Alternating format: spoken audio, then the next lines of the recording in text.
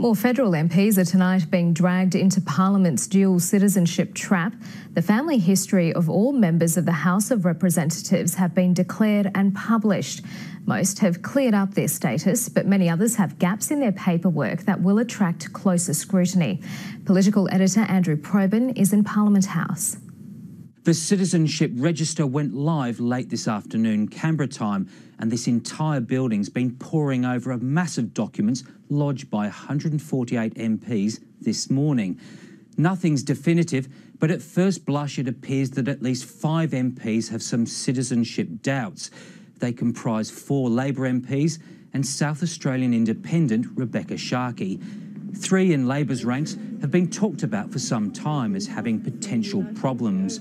Tasmanian Justine Keay, Queenslander Susan Lamb, and Josh Wilson from the West. In some of the cases, it appears renunciation of British citizenship came weeks, if not months, after the date required. But a new case has also emerged. David Feeney, a senior Labor MP, former frontbencher, and Victorian factional heavyweight.